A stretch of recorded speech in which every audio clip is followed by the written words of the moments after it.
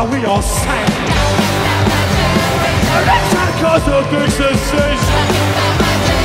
Just talking, talking about my, my, my generation.